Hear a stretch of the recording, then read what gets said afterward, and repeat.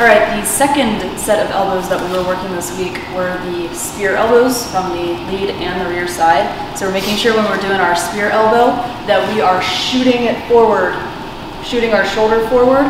We're not folding our arm all the way back. We're keeping this more of an open angle, stepping and sliding into range, and shoulders coming to jaw, whether it's the lead or the rear.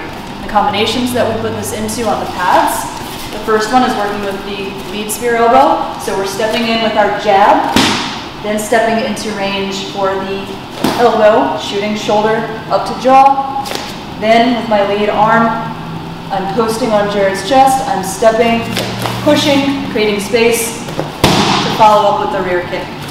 And then for the rear elbow, same thing, stepping in, jab, stepping in, rear, again posting with the lead hand, stepping, creating space to follow up with the rear.